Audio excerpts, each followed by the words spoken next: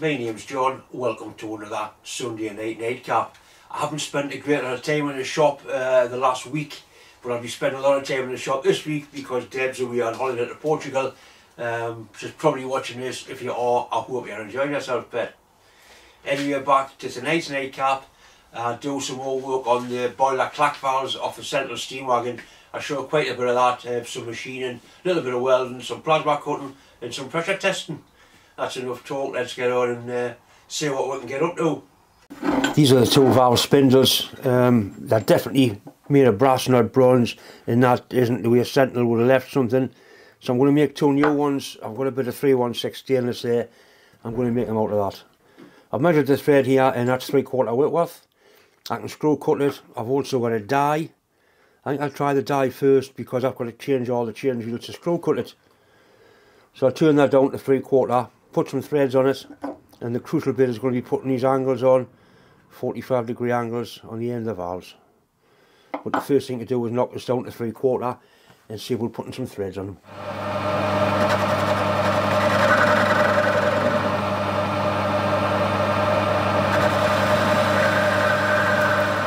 The only trouble with machine stainless, it's hard to get the chips to break Get these horrible, nasty, stringy bastard things.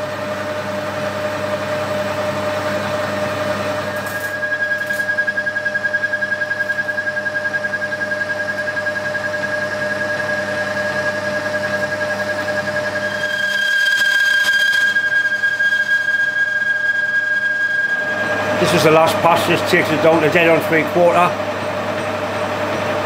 Look at them horrible bastard chips. I hate them. Look at it.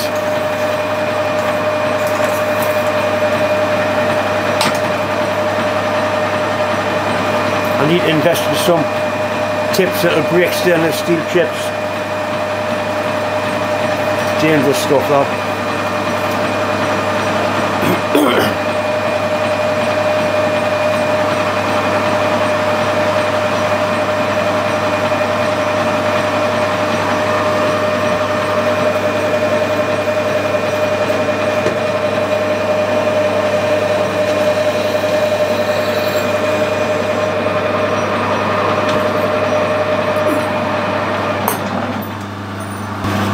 So that's the threaded part. I need to put a recess in that bit down there so I'll have a measure of that. I'm just using this parting blade to rough this out.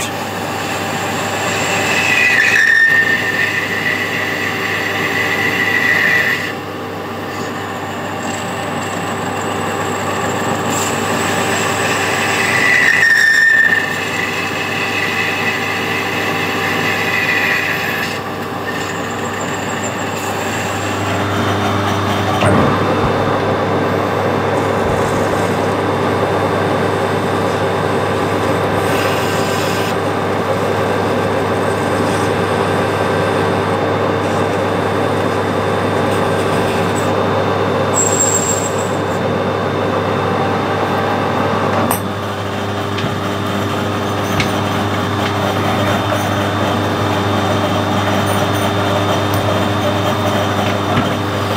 break that inner edge in there.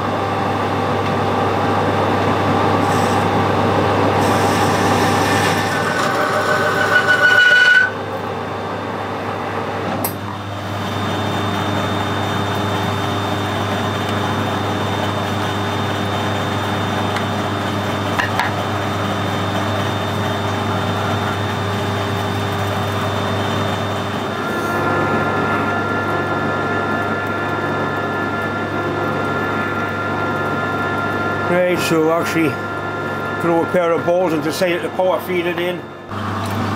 So it appears to have cut a nice sharp thread. That's good, you don't want threads tight on steam engines because things start to expand and bind up. That's absolutely splendid that. There's a square machine on the end of there. The next thing is to put the valve faces on, which I'm sure at 45 degrees. Those two there.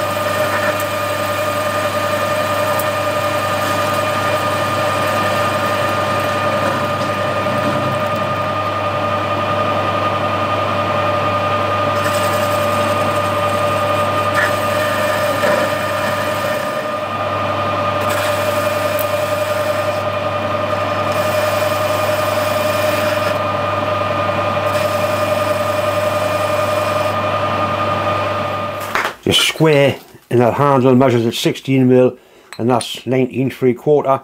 So if I take 3 mil off which is 1.5 mil off each side it should be a reasonable fit in there. I'm going to use a collet block to, to do that with. Square collet block. ER40 collet block. And this will go through from the back and leave enough poking out for me to do what I need to do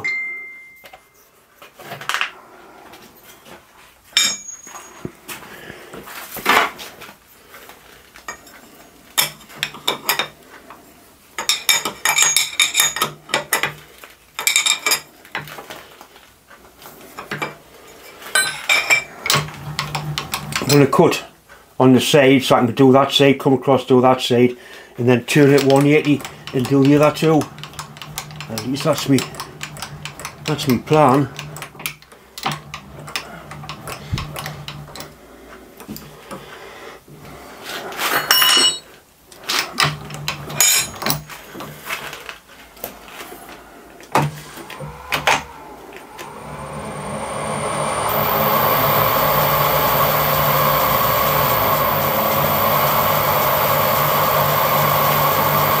first thing to do is to touch it off and then put some zeros in.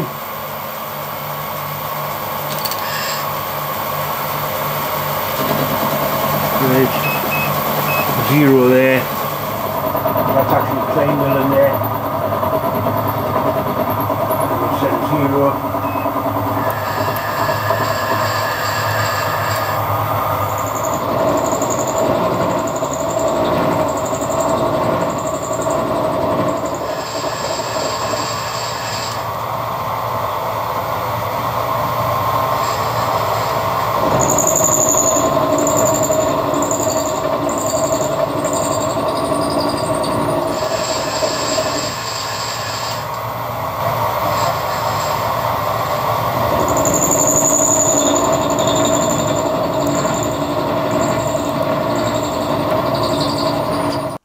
Valve spindles have worked out quite nicely. That's the position it's normally in, that's where the valve open. That gets screwed into there and there's a valve seat in the bottom. So when that's in there like that, that can be turned down and that hits that seat and that blanks off this valve completely. So you've got boiler steam pressure on this side, that port there, and that's the valve that stops it from allowing any steam or water out. It's like an emergency valve. If something goes wrong with this pipe work or this clack valve, you can turn that like that and that shuts off. It's a dead stop. But normally it's left wide open like that. And that's why it has to seat, seal on that seat there. I've been talking to one or two people and I've had problems myself with stainless steel having a different rate of expansion to the bronze. It could possibly lead to the valve bending up. Originally these would have been made out of bronze. Uh, the ones I took out were actually brass, soft brass. Now I have got some PB1 bronze here, so I've decided to remake them out of bronze, uh, just as the Victorians did it. So I'm going to put it back to standard, make the valves, spindles out of bronze. I'm using a collet to machine these for a couple of reasons. Uh, one is I can get in better with the camera for different shots. The other reason is it gets a much, much stronger hold than a 193 jaw chuck. Make sure I've got enough material out.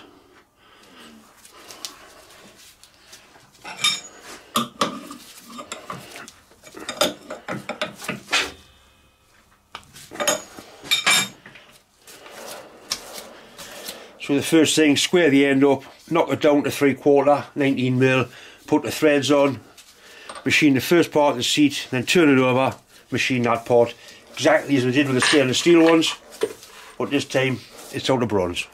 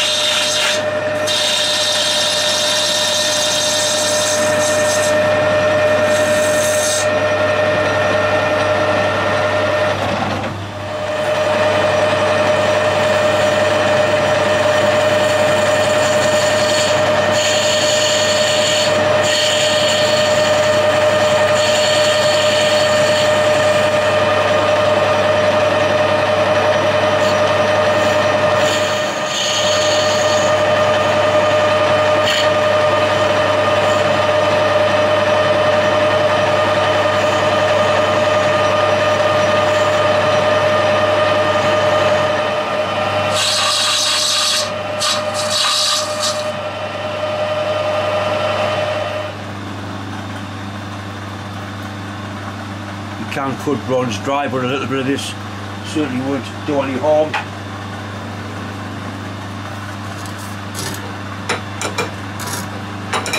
Thread here is three quarter Whitworth.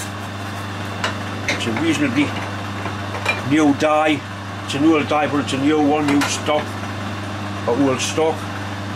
Ah, oh, old stock, isn't it? Yeah. Right.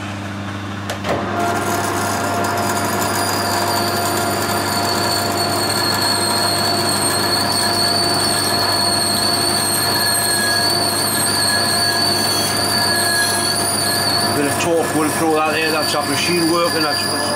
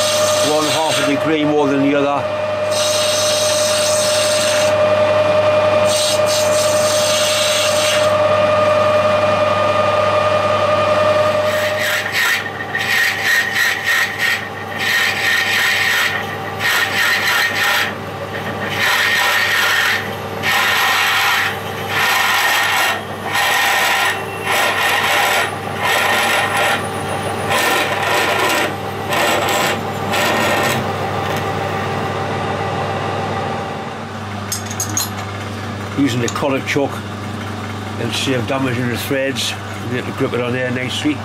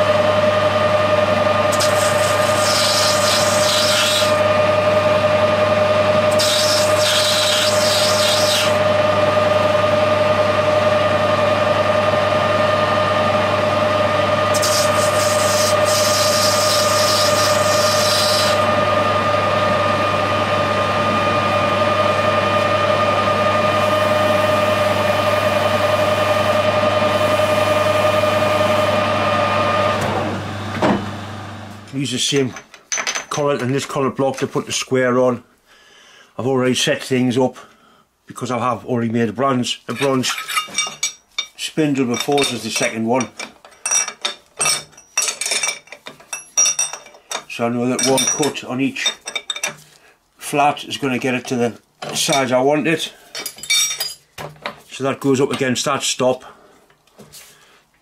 Normally these collet holders would lock off on the back of there but this one doesn't because the thread's actually bigger than the square. It's a design fault on them. Right everything's set up. I've also got a stop on the bed so we'll set things in motion.